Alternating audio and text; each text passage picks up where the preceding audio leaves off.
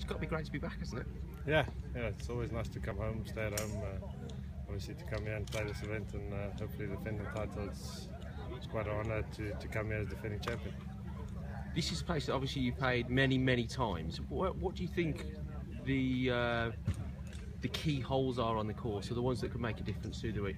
I think the, the fact that I played it many, many times and failed many, many times was kind of the key to figuring out which ones were the difficult ones. And uh, I picked like, um, there's probably like four or five tee shots that I don't like that I had to kind of manufacture my own kind of shots to, to get around the golf course. But um, yeah, there's, uh, you got to get through 10, 11, 12, 13 pretty good. Uh, I think, um, I don't know if it's Seven's tee shot, Seven's tee shot never suited my eye either but and obviously the third tee shot that, that suits a little bit more of a draw. But uh, just uh, getting around those holes and uh, managing to not make any numbers, it's kind of part of playing golf, I suppose.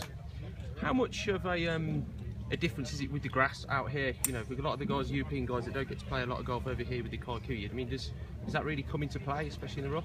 Yeah, I think the guys are good enough to kind of figure it out uh, Monday, Tuesday, Wednesday. If they, can, if they get you earlier, they'll, they'll figure out how to play it off this grass. It takes me a week or so every time I come back from Europe to to just get the hang of the grips of literally the grip of the grass because it, grips the club quite easily. But um, yeah, it's uh, definitely plays a factor. But I think the guys are good enough to figure it out. Um, and something completely off the wall. I know that you're not a European, but last week Darren Clarke was named Ryder Cup captain.